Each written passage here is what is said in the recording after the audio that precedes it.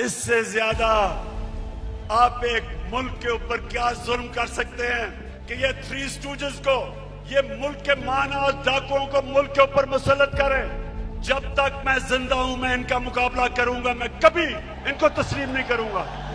मैं किसी किस्म का तसादुम नहीं चाहता। ये मेरा मुल्क है। मेरे कोई इस मुल्क के बाहर जाने की जगह नहीं। ये तो जब भी थोड़ी मुश्किल आती है बाहर भाग जाते हैं।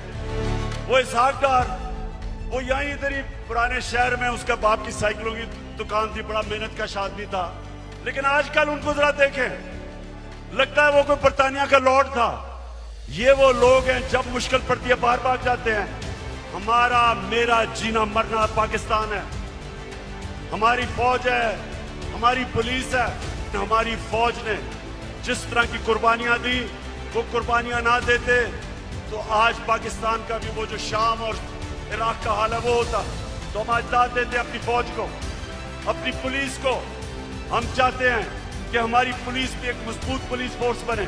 हम कोई किसी किस्म की इस मुल्क को नुकसान नहीं पहुंचाना चाहते। लेकिन हम किसी सूरत इस इंपोर्टेड हुकूमत को तस्लीम नहीं करेंगे।